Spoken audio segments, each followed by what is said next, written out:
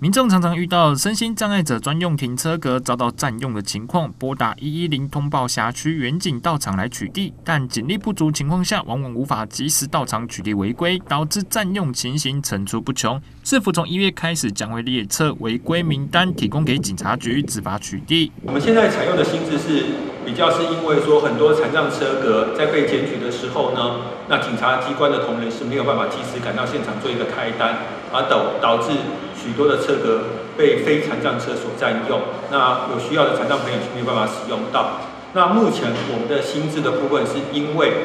呃，整体上来讲，我们是有把桃园市已经有登载的残障车辆的部分，是输入到我们的系统，也接接到我们的系统里面。所以呢，我们在呃，我们收费员去每次开单的过过程中间呢，他可以呃，真的一开始就可以找到说，哎，这个是不是本市的残障车辆？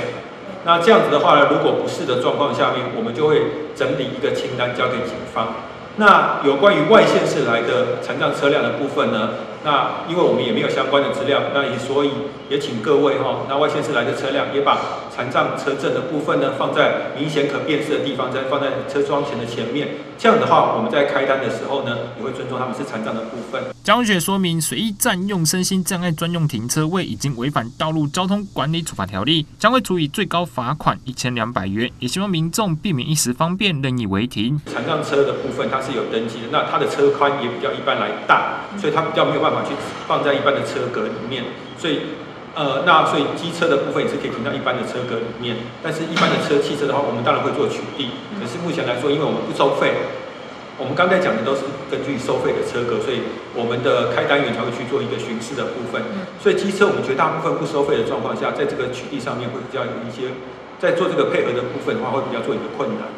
哦，然后但是呢，残障车跟一般汽车跟机车的部分的车位大小因为差距很大，